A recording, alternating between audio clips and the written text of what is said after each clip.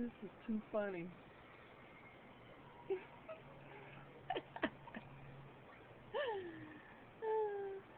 Patoonie's eating her skin.